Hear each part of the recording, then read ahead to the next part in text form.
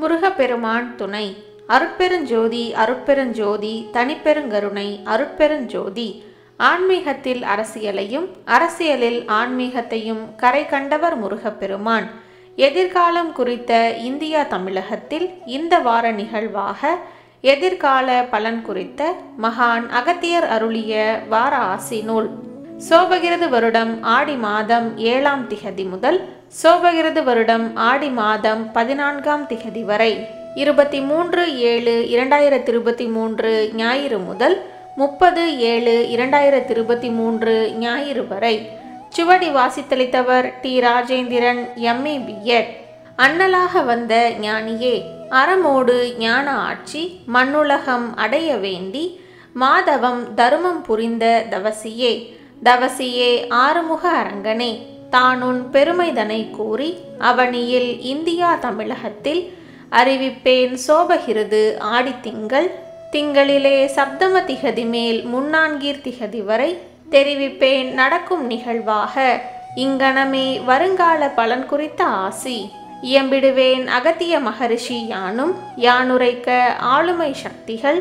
எளிமைப்பட பாமரருக்கும் தேவை தானாக பூர்த்திப்படும் வண்ணம் தக்க அரசாட்சிதனை புரிய புரியவே எங்கும் மகா சக்திகள் புண்ணிய பலமாக ஞான வடிவாக தெரியவே இறங்கி வளர்ச்சி காண தொண்டாக எங்கும் மாறி சிறக்கும் சிறக்கவே அரங்கமகா ஞானியரின் சீடர்களென அடையாளம் கொண்ட அறத்தின் பலம் கண்டனல் அனைவருக்கும் வாய்ப்பாக வருங்காலம் காலமதில் ஆளுமை தொடர்பு கட்டாயம் இந்தியா தமிழகத்தின் காலத்தை நிர்ணயிக்கும் வண்ணம் கனிவேலவன் ஆசிப்பட மாற்றம் மாற்றம் கண்டடைய நேரும் மார்க்கமுடன் ஆளுமை சக்திகள் ஆற்றல் பட பொதுநலம் பட சேவை அனைவரையும் சமமாய் நடத்தியே நடத்தியே தரும ஞான ஆட்சி நன்மை புரிய இந்தியா தமிழக ஆளுமை இடரின்றி செயல் வடிவம் காண இந்தியா தமிழகம் வளர்ச்சிதனை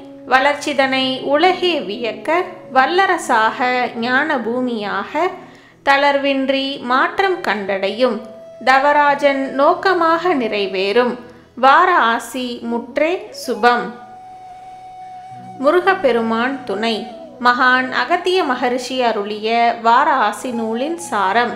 சோபகிருது வருடம் ஆடி மாதம் ஏழாம் நாள் இருபத்தி மூன்று ஏழு இரண்டாயிரத்தி இருபத்தி மூன்று ஞாயிற்றுக்கிழமை முதல் ஆடி மாதம் பதினான்காம் நாள் முப்பது ஏழு இரண்டாயிரத்தி இருபத்தி மூன்று ஞாயிற்றுக்கிழமை வரை உள்ள கால நிகழ்வுகள்.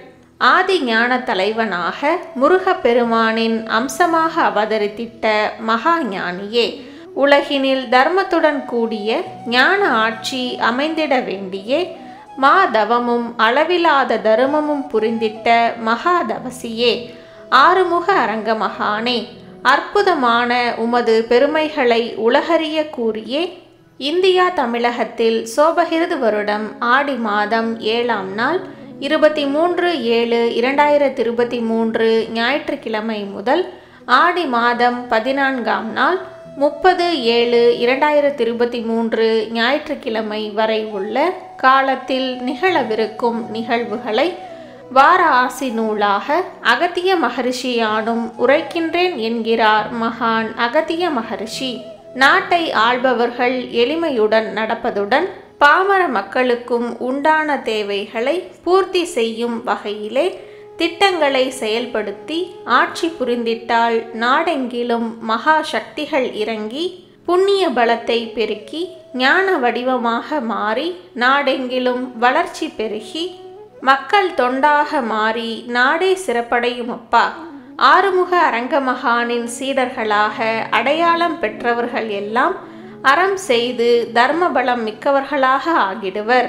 தர்மபலம் மிகுந்த அவர்களது வருங்காலம் எல்லாம் அவர்களுக்கு நல்ல வாய்ப்புகளை உலகினில் உண்டாக்கும் அப்பா ஆட்சியர்கள் ஞானிகள் மீது நம்பிக்கை கொண்டு ஞானியர்கள் தொடர்பில் இருந்தால் உறுதியாக தமிழகத்தில் முருகப்பெருமானின் ஆசியுடன் அற்புதமான மாற்றங்கள் உண்டாகும் அப்பா ஆட்சியர்கள் ஆற்றலுடன் தர்மத்தின் மீது நம்பிக்கை கொண்டு எல்லா மக்களையும் சமமாக பாவித்து பொதுவில் நின்று பொது நலத்துடன் செயல்பட்டால் இந்தியா தமிழகம் அபரிமிதமான வளர்ச்சியை உலகமே கண்டு வியக்குமாறு வளர்த்து வல்லரசாக ஞானம் மிக்க ஞான பூமியாக மாற்றம் அடையும் அரங்க மகானின் அவதார நோக்கமும் பூர்த்தியாகும் அப்பா என கூறுகிறார் மகான் அகத்திய மகர்ஷி.